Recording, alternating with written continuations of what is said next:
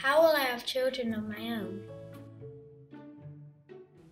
To make a baby, you need two main ingredients, one from each parent. These ingredients are eggs in girls and sperm in boys. Sperm look a bit like tadpoles under a microscope, and these are made in the testicles. Why do we need testicles to make sperm? In your testicles, there are special cells that can split and change into sperm all the time. But they only start doing this when you become an adult. Until then, boys have all the sperm making cells, but they can't quite make them yet. Will my body still be able to make sperm after my treatment? The treatment that you will be getting to make you better can damage the special sperm making cells. This would mean that when you are older, you might not be able to make sperm as much or even at all. This could make it harder for you to have children of your own. Is there a way to stop the cells that make sperm from being damaged? One way of making sure that the sperm making cells are not damaged is to have a small operation to remove a part of the testicle and store it in a very cold freezer.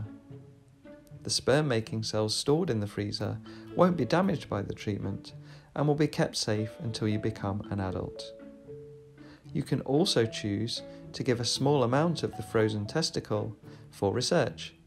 This helps scientists and doctors to make better treatments for the future. How will I be able to make sperm for sperm making cells in the freezer? When you are older, it might be possible to put the sperm making cells back into your body so that they can start to make sperm by themselves.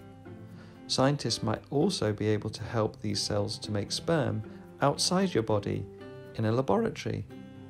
We're working hard to make this possible and hope to be able to help you with this if you need it when you're older. What if I don't want to have children when I am an adult? You may not want to have children when you're an adult, and that's okay. You don't have to decide now.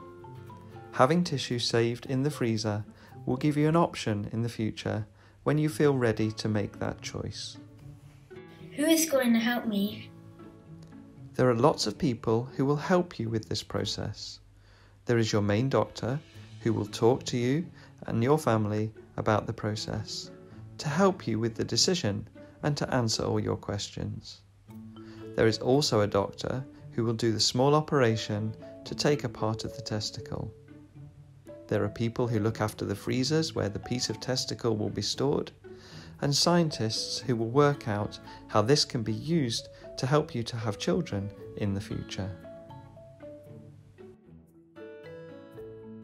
Some of those scientists work at the University of Edinburgh in a place called the MRC Centre for Reproductive Health. You and your family can find out more about these scientists and the work that they do on the sperm making cells by visiting our website